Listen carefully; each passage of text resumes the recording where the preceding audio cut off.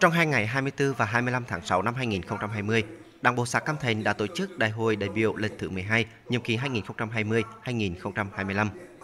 Nhiệm kỳ 2015-2020 với tinh thần đoàn kết thống nhất, Đảng bộ chính quyền và nhân dân xã Cam Thành đã nỗ lực quyết tâm vượt qua khó khăn, thách thức, tập trung lãnh đạo, chỉ đạo và thực hiện hoàn thành thắng lợi mục tiêu, chỉ tiêu, nhiệm vụ mà nghị quyết Đại hội Đảng bộ xã lần thứ 12 đã đề ra.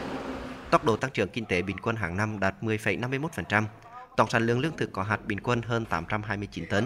thu nhập bình quân đầu người đến tháng 5 năm 2020 ước đạt 44,16 triệu đồng. Cuối năm 2016, xã Cam Thành được công nhận xã đạt chuẩn nông thôn mới. Tình hình an ninh chính trị, trật tự an toàn xã hội ở địa phương được đảm bảo, phong trào xây dựng nông thôn mới dần đi vào chiều sâu và chất lượng, đời sống vật chất và tinh thần của nhân dân không ngừng được nâng lên.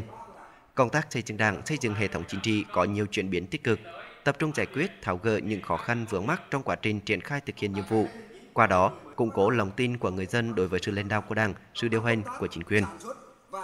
Với tinh thần đoàn kết, dân chủ, đổi mới, trách nhiệm cao, Đại hội đã bầu ban chấp hành Đảng bộ xã nhiệm kỳ